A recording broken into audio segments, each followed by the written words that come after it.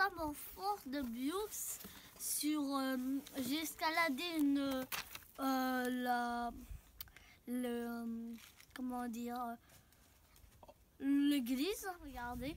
Voici les amis qui nous ont accompagnés. Vous avez des questions?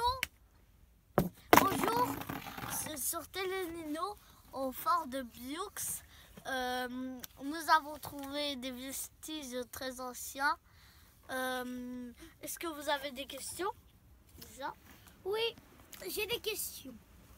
Alors, comme question? pourquoi on a sculpté toutes, toutes les rochers?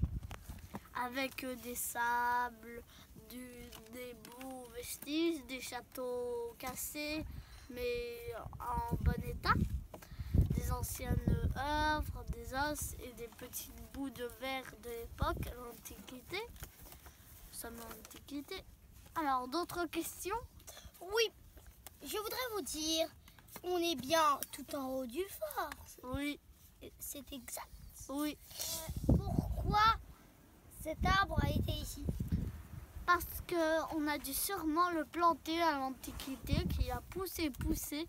Et en regardant bien, on dirait un sapin, je sais pas quoi. Du coup, quand il y avait un brigand, du coup, il euh, se cachait dans le fort. Et si jamais il y avait de la nourriture qui était enfouie sur des grosses pierres avec euh, des, des couverts cachés.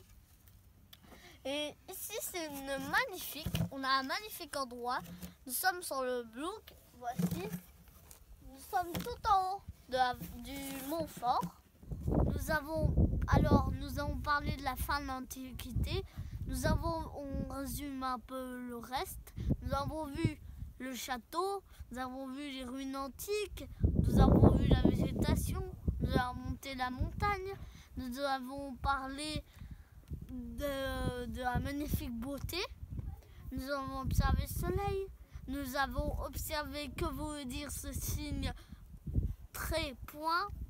Nous avons vu que c'est un canal d'eau. On a vu des réserves souterraines anciennes. Et voilà, on a vu beaucoup de choses.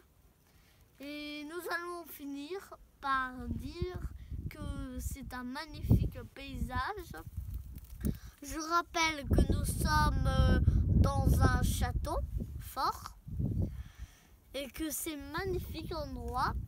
Alors nous allons bientôt partir. C'est la fin de